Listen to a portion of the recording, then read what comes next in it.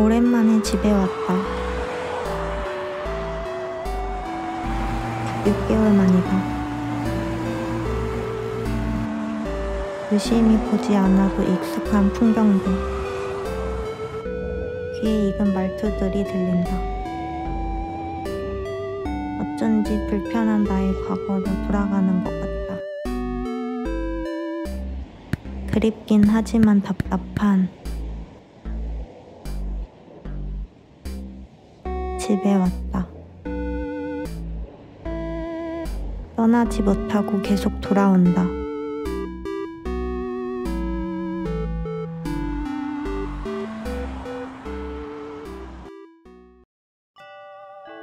이제 이곳에 내 방은 없다. 초등학교 때부터 대학생 때까지 살던 원래 집에서 걸어서 5분 거리의 새 집이다. 여러 가지 기억이 뭉쳐져 있는 내 방은 문이 잠기지 않아 불안했던 나만의 공간이었다.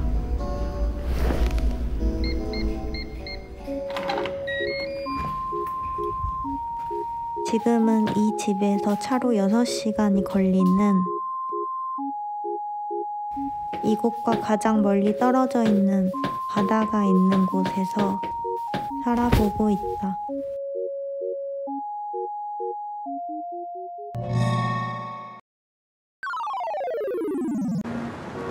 비가 내리는 5월의 어느 날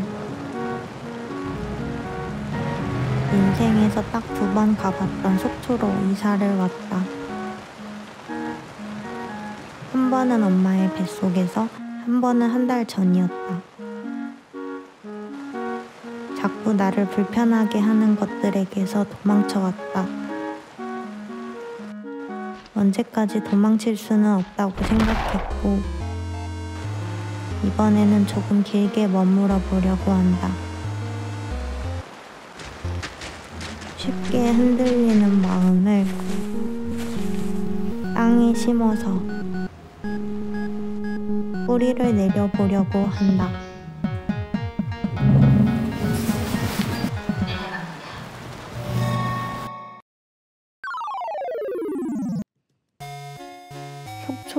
오기 전 우리는 창업 지원 공고를 찾아봤다. 급하게 사업 계획서를 작성해서 제출했는데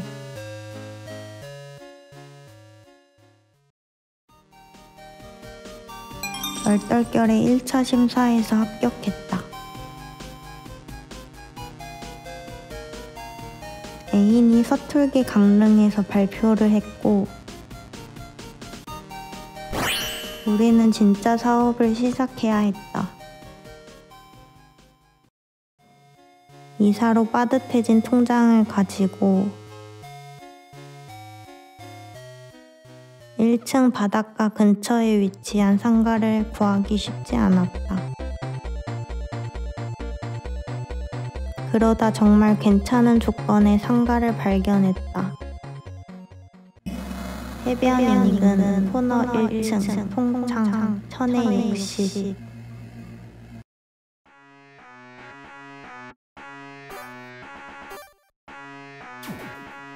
당장 부동산에 전화를 해서 보러 간다고 했고 도착한 곳은 처음 가본 조용한 동네였다. 햇빛이 잘 들고 조용하고 한적했고 왠지 설레는 느낌의 동네였다. 주인은 월세를 5만원 깎아준다고 했다. 안 할 이유가 없었고 우리는 돌이킬 수 없는 선택을 했다. 무거운 짐들이 버거워 가볍게 살던 나는 이제 진짜 무거운 짐을 맡게 되었다.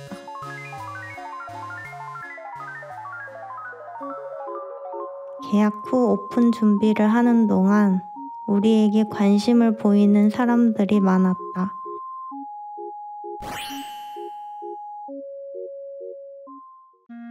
DM을 보내거나 일에 관련된 이야기를 하러 오거나 악담을 하거나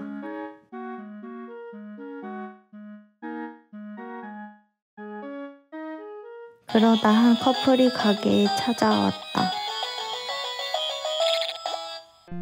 여자분은 우리와 콜라보 상품을 만들기도 했고, 같이 풋살도 하게 되었다. 타지에서 온 사람들이 어느새 주위에 생겼다. 나는 원래 인간관계가 좋고 깊은 편이긴 하지만 나이를 먹을수록 인간관계가 더 좁아진다고 하는데 내 옆에 외향형 인간 덕에 조금은 가볍고 넓어지고 있는 것 같다. 어느 날 작은 일이 크게 번졌다. 결국 이곳도 아니었던 것 같다. 라고 생각했다. 그럼 다른 곳에서는 완전해질 수 있을까? 마음은 항상 떠돌았다. 막상 떠돌기에는 한없이 외로웠다. 지금 내 선택이 맞는지 항상 확신이 들지 않았다. 자꾸 누군가의 기준과 판단에 나를 맡겨둔 것처럼 불안해졌다. 갑자기 문득 생각이 들었다. 그 기준은 집도 사람도 장소도 아닌 내 마음속에 있는 게 아닐까.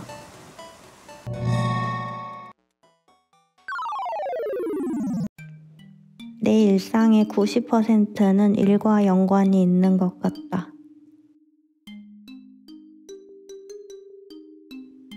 뭔가 하지 않으면 불안하고, 왠지 뒤처지는 것 같고,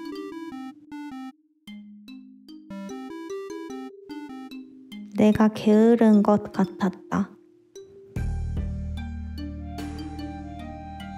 막상 많이 하지도 않으면서 언제나 일을 해야 해라는 강박이 있었다. 속초에 이사를 오면서 많은 것들이 변했는데 일과 관련되지 않은 다른 것에 시간을 쏟는 거였다. 그게 나름 괜찮았다. 잘 몰랐던 이상한 기분이었다. 요가도 하고 가끔 서핑도 하고 요즘은 풋살이 재밌다. 내가 이렇게 다른 일에 시간을 쏟아도 괜찮나 싶다가도 그냥 지금은 괜찮은 것 같으니 된 게 아닐까. 나는 지방의 한 디자인과를 졸업했다.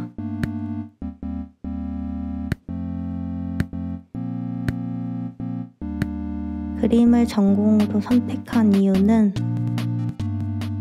과거의 어느 날 당시에 한 살 많은 친구가 우리 반으로 전학을 왔다. 그 친구는 야자를 빼고 미술학원에 다니겠다고 했다. 주변에 예체능과 관계 있는 사람이 전혀 없던 나는 그런 길도 선택지에 있는 거구나 싶어서 충격을 받았다. 그나마 내가 잘 할 수 있는 게 그림이라고 생각했던 어리고 별 생각 없던 당시에 나는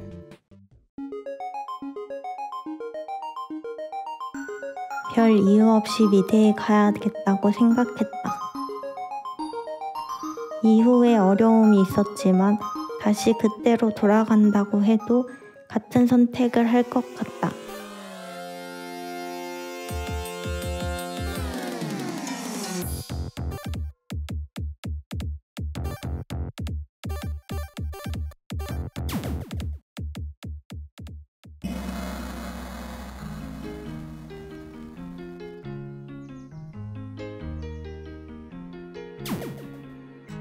먼저 가능성이 가장 높은 엄마에게 갔다.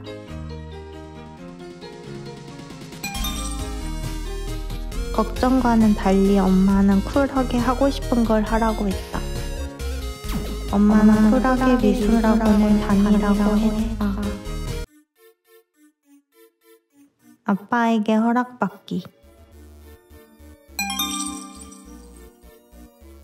아빠는 쉽지 않은 사람이다. 극한의 걱정 인간이기에 아마도 허락하지 않을 것 같다. 아빠는 허락해줄 것 같지 않다.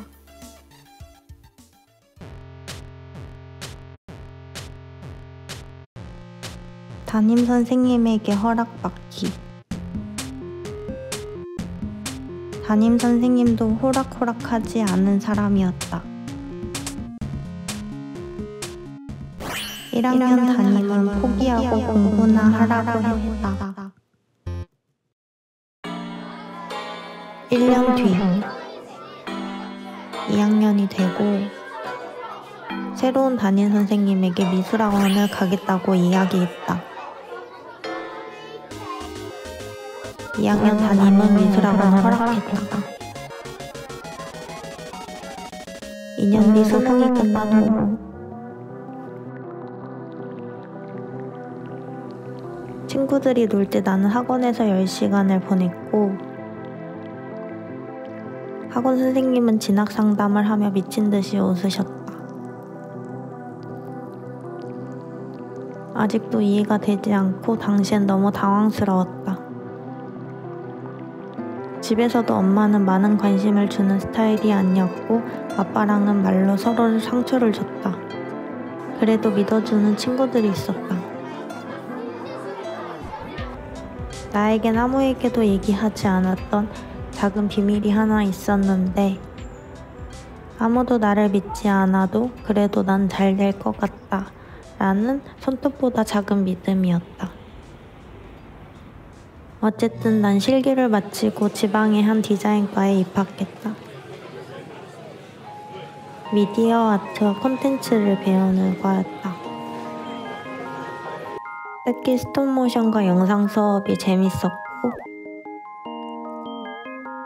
어쩌다 업로드한 과제 영상을 보고 한 PD님이 연락을 주셔서 외주를 시작했다. 그러다 문득 작가가 되어야겠다라는 생각이 들어 그냥 혼자 작업을 열심히 했다. 휴학계를 내고 1년 동안 사람들이 좋아할 만한 개인 작업을 하다 보니 어느 순간부터는 작가라고 불리게 되었다. 큰 회사들과 일도 해보고 전시도 하게 되고 업계 전문가의 온라인 강의 플랫폼에서 강의도 하고 콜라보도 하고 신기한 일들이 계속 일어났다. 왠지 나는 될 것 같다. 라는 아주 아주 작았던 믿음 덕에 어려웠지만 그래도 원하는 방향으로 흘러가는 중이다.